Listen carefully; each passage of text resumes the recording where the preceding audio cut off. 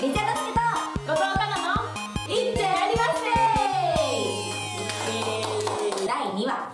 はい。第2話ですけど知らない人たちのためにちょっとお二人どういう人なのかっていうのをまあちょっと話してほしいなと思ってます。本来最初にねしないといけなかったんですけどちょっとここでやりましょうか。はいわかりました。もう私のことは私はもうみんな知ってくれてないと思ってるんで。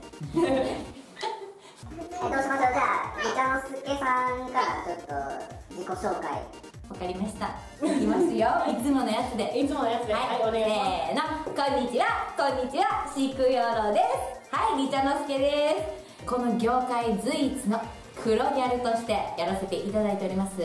えっと、こんな見た目ではありますがギャップだらけのアラサー黒ギャル。もともと宝塚歌劇を目指し音大でミュージカルを習っておりました。だからの。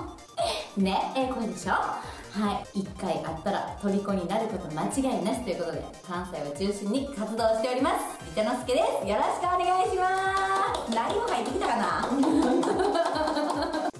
リサさんになんかちょっと質問とかしたいんですよ。あ全然何でも。NG なしなんで。嫌いなもの苦手なものをちょっと教えてもらえます？あー嫌いなもの。私のこと肌白いって言ってくる人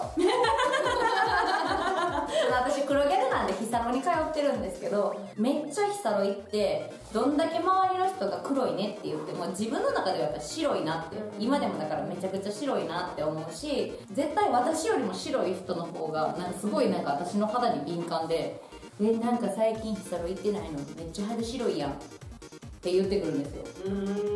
それ言わんでいいやんみたいな。うんうん宝塚会議を目指しててでもその身長が低いので、うん宝塚会議自体には入れなかったんですよ。でその時に宝塚会議と一緒のレベルで好きだったのが黒ギャル。それで宝塚会議でナンバーワンになれへんのやったら黒ギャルでナンバーワンになろうとギャルを目指し始めました。黒くするとき絶対に全部剃ってるんですよね剃った方がムラがないとは言うけどあそうなんや。違うよ肌が黒かったら毛生えとってもバレへんの。その話は私はしたことあると思う。だから剛毛女子を下向きなさい。黒くなった方がいいそうそうそうそういっそのことね黒を強調したいならなんで服を白くいうもの着ないのかなって。白い服着たら肌白くなっちゃったりするやんね黒い服見せたい時白く着ますあそうなんや。そう。そうなんや。へえ着替えるとこからやり直してくれ服かそうかお願い。こんなよ。こんないじめられるのこの番組。ほんまに。ちょっと私もう先怖いわ。もうほんまに。後藤さん的に今までリタノスケさんに聞いてなかったけどこれ何？みたいなことあります。これ何？買ったの？あこれね。そうそうそうそう。なんと下まで買そうったんですよ。全部全部ないねんなんか暑いからかなと 髪の毛をそそれこそかなちゃんみたいに派手髪したいんだけどできなくて。痛みすぎて切れ毛がやばくて髪の毛をこう原色とかの派手髪にできないからうんこれでアレンジして自分を落ち着かせてる。ああなるほど。そう。何か髪の毛を他の人と違うことをしないと。もういいってなるか。らでじゃあ次は後藤さんの方で。はい。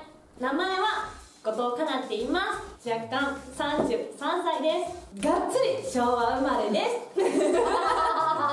血液型は A 型。水亀座です。で、えーチャームポイントはメガネかな。うーん最近の趣味は釣りとうーんインスタ見てる。ちょっと待って。私一生懸命ねあの合コン風にしてんねんそうキャラ崩壊してる。かなちゃんどうしたんやろ。って思ってなんか悩んで悩んだ結果こうなっちゃった。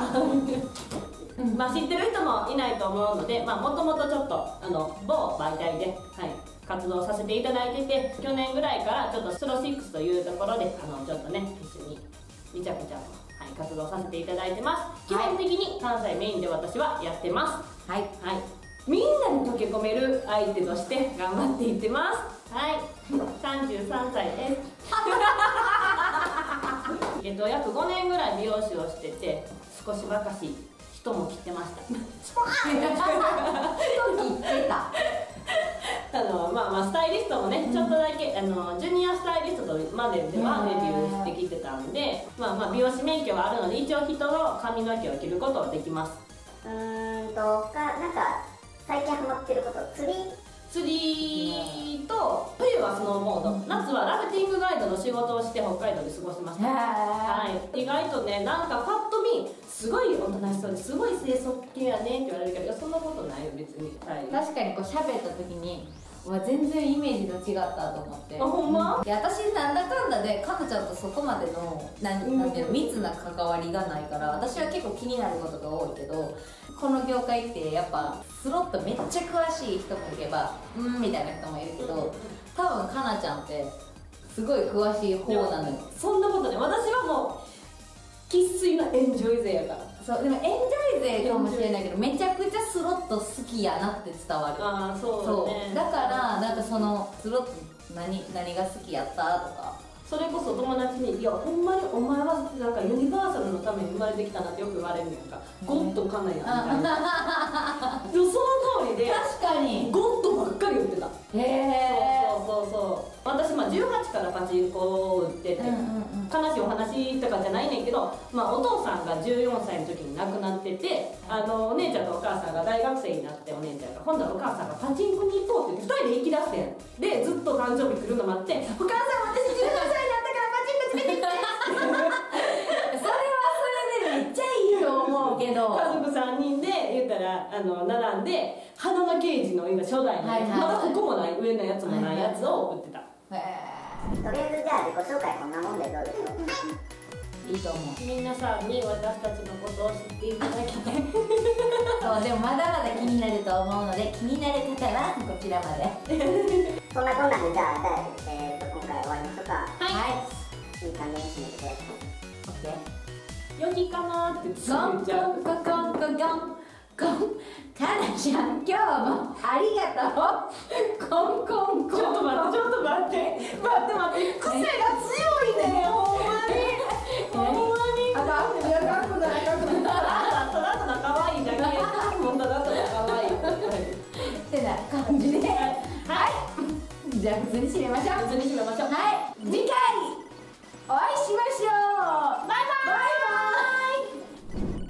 この番組は幸な大阪北摂エリアご協力のもとお送りしております。